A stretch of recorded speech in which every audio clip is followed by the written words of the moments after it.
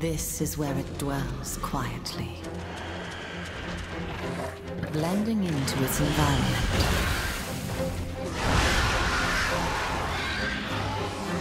And if any should appear to disturb its peaceful slumber,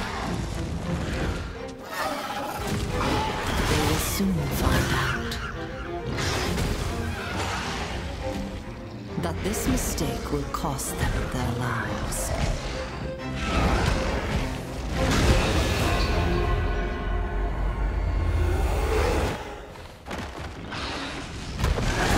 Ladies and gents, boys and girls, Douglas and Diggettes, Monster Hunters and Monster Honeys, it is your man, Stack908, the Dig Dug himself, and today, guys, we're going to be looking at Espinas.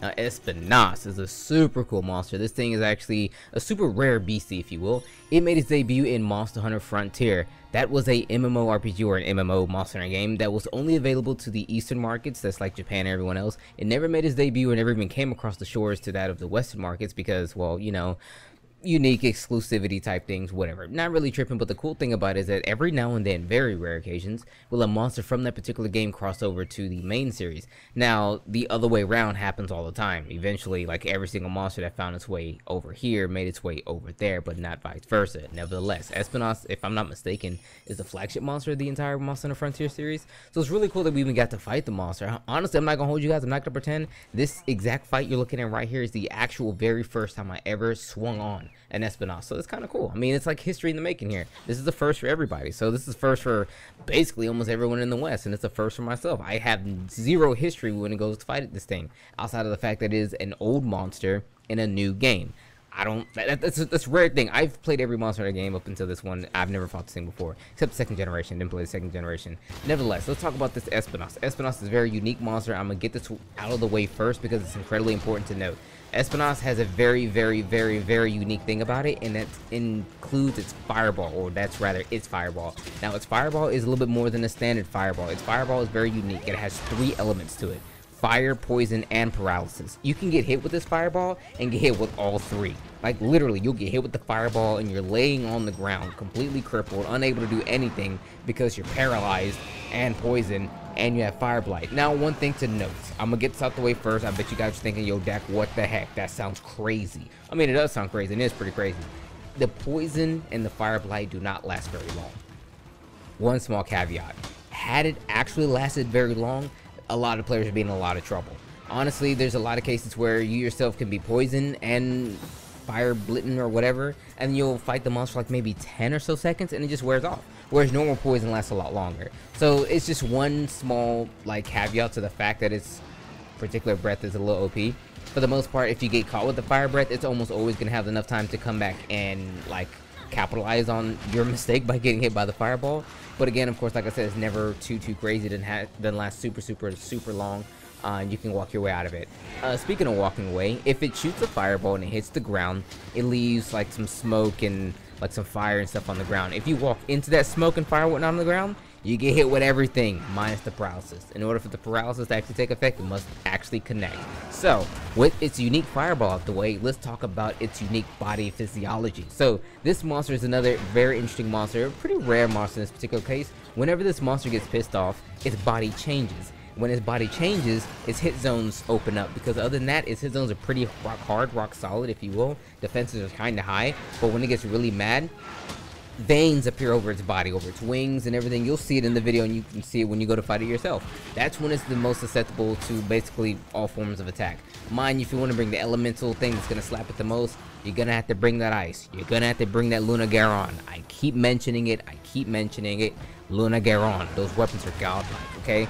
Bring that, slap this thing, you'll do fine. Again, moving back to the red veins on its body and whatnot, that's when you're going to do your absolute most damage. Uh, if anything, if you guys can come up with a particular nice combo suit, so that way it actually stays in this particular state for a long time and does a lot of nothing, will help you out. In my luck in playthroughs, whenever it charges, because it will charge a lot, just hit it with a flash bomb. Just, yeah, just hit it with a flash bomb. It'll stop. It'll stand right there. It's still pissed off. You just beat the heck out of it. That's what I do. Well, that's what I did because I had to fight this thing 16 times to get the mantle loose.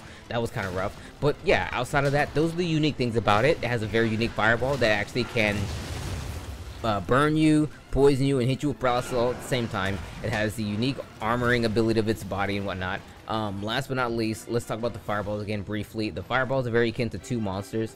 it's akin to that of Rathian and Yian Garuga. Honestly, a lot of the characteristics that this monster has reminds me of Rathian, Yian Garuga, and to a lesser extent, Gypceros. Uh, for those who don't know who Gypceros is, don't worry about it. He's a little, what is he, like a tier 1? He's like a, uh, he's probably a tier 2. He's probably a tier 2 flying bird wyvern, rather, who no one likes, but he has a couple of awkward little things about him that make him, for some people, cute, but for others, really annoying. But for the most part, just understand that he has um, a neat way of standing up and spitting things. And in this case, Espinas has a uh, way of standing up and shooting down his fireball. But it combos that with the way the Yian Garuga shoots his fireball, which is shotgunning them all on the ground in front of you. Nevertheless, that's the cool thing about the Espinas when it comes to his fireballs and its and everything else.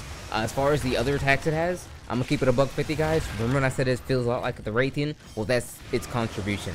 If you guys have fought a Rathian at all, you're gonna feel very familiar when fighting this monster outside of the unique things I mentioned, because the unique things are, well, for the most part, unique to it. But other than that, it very much feels like a Rathian. Feels a lot like a Rathian. It charges like a Rathian, not exactly, but the charge is very akin to the other Rathian. The tail swipes, the tail, well, the the mouth bites. The mouth bites? What? You know I'm trying to get at. Like, basically, all the other smaller attacks, lesser attacks are that of like a Rathian. You know what I mean? Um, there's not very many other things I can actually mention that's quite unique to it that you really need to worry about. So, yeah, just go crazy. If you fought Rathian before, you can fight this guy.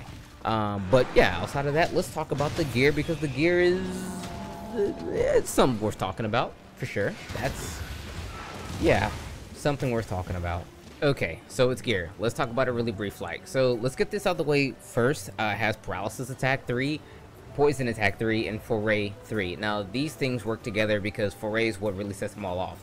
Paralysis attack and poison attack, I'm sure you can figure out. It's just paralysis and poison, additional points and whatnot. Not a whole lot. They kind of nerfed those particular abilities in this game, but just a little bit off the top, so it is what it is. But Foray, Foray is what's really sauce. So Foray is very unique. What Foray is, is if a monster is hit with a blight or an ailment, you will receive an attack and affinity bonus. So at the rank that it is, which is rank 3, you get like I think a flat 15 onto your attack and like is it 15? I think it's 15 so it's attacking like 20 affinity, which is pretty good, all things considered. Uh, on top of that, even has agitator, so like, okay, check it out. This is where it gets really sauce-like. If you just happen to poison or paralyze or blight a monster, and you have agitator, so let's say it's pissed off and poison or whatever, you get a huge boost of attack, which is pretty solid. I mean, I'm gonna give it to it. That's where it's gonna make a lot of his cheese, you know what I mean? But um, let's look at the other ones really quickly. We're looking at Part Breaker 3, which is a 30% increase to monster parts, so great for cutting tails and breaking horns and such. Protective Polish. Ah, love this ability. Your weapon sharpness does not degrade for 90 seconds, period. You sharpen it, it's maxed out. You can, you can hit a monster a trillion times within 90 seconds, won't lose an inch of sharpness. Fantastic. I actually like it a lot more than uh, Razor Sharp, truth be told. Because, well, I mean, Razor Sharp is nice and everything, but like sharpening weapon, especially when you have the, the canines around, it takes really no time at all to do that and just whatever. Anyway, it's just my preferred, uh, uh, not element, uh, skill in that regard. Flinch Free so don't move around when people slap across the face. Rapid fire up because, you know, gunner stuff. So, now, with the armor out the way, I'm gonna give the armor like a solid B. I think I might I might do that now. I'm gonna grade the armors because a lot of times like the armors are great and sometimes they're not very good at all. This is a very solid B. You have a thing that can give you more attack, which is nice, and also little little extra gimmicks in there. You know, the paralysis and the and the poison attack and whatnot. Uh, so that's kind of cool. Now the thing to truly take away from this is that the paralysis attack is kind of sauce, but what Espinas has is actually poison. It has both poison and fire weapons. Here is the here, here's the problem. Okay, guys, here's the problem.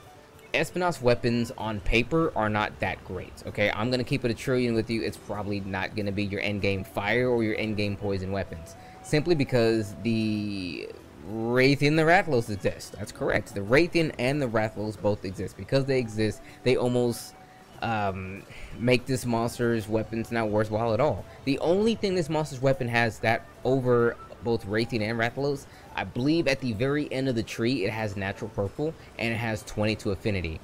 Uh, the sharpness is kind of, well, as far as like the length on the sharpness is kind of okay. But the thing to walk away from this when it comes to both Rathian, Rathalos, and Espinas is that Rathian is the poison. Rathian is going to have way more poison than that of Espinas. Rathalos is going to have way more fire than that of Espinas. I mean, it's not even close. Like, Espinas can have like 17 fire on the lance, and Rathalos has like 45 it's crazy. So if you're looking for elemental and maybe even element elemental, if that's even a thing, damage, um, you may want to go to the other monsters that kind of draw influence from it, as opposed to this one right here. However, if you have a very interesting build that actually benefits from that affinity, and you're like, hey, I'll tack on electrify or I'll tack on electro poison, I mean, go for it. They're not bad. They're not terrible. I mean, the raw is about the same. They just they they're, they're, they're different, okay? They're not terrible weapons, they're just different. There's a particular set that someone's gonna have out there that's probably gonna rock an Espinas weapon, and in the other one, you know what I mean? Like, they can say, hey, if I want more fire, more Rathalos, or, you know, I want more poison, mm, Rathian.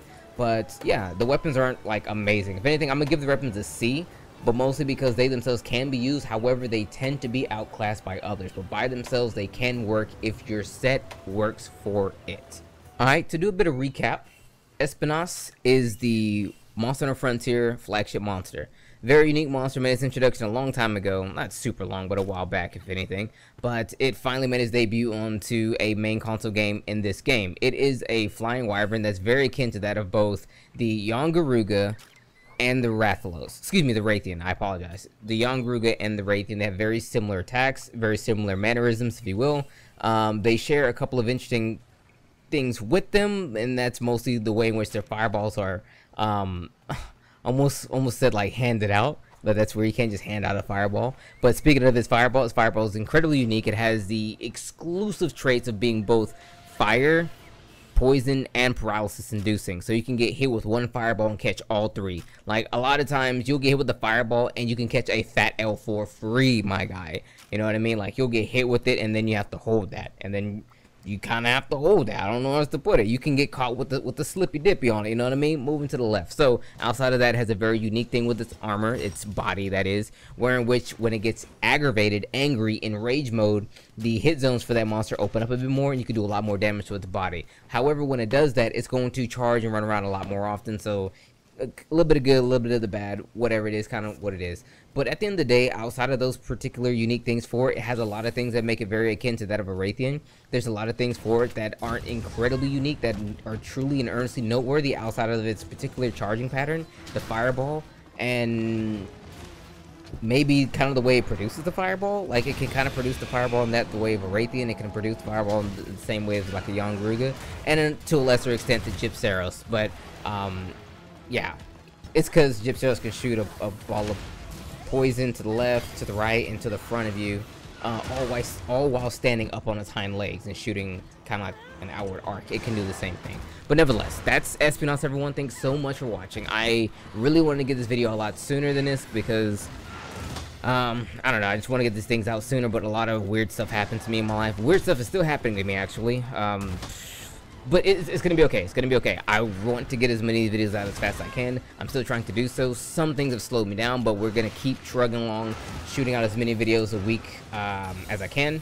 It's just getting a really, it's becoming a really busy point at work for me, making it to where I can't really come home and just kind of work on it. They're calling me back in, and I'm staying late. I'm getting really tired. I don't want to, you know, sit down and make a bunch of videos, and I'm tired. You feel me? So um, this week might be a little slower. I want to get at least three. Um, so here's one today. There'll probably be one the following day, which is Gore Magala. And the one after that, I can't remember. The Spider Lady thing? Yeah.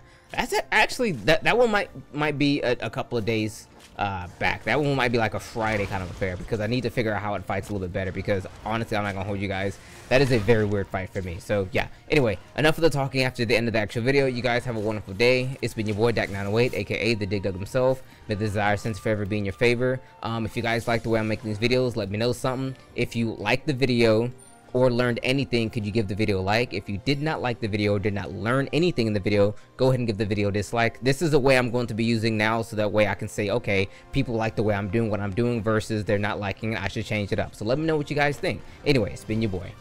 Take care. Desire Center, your favor, and all the good stuff.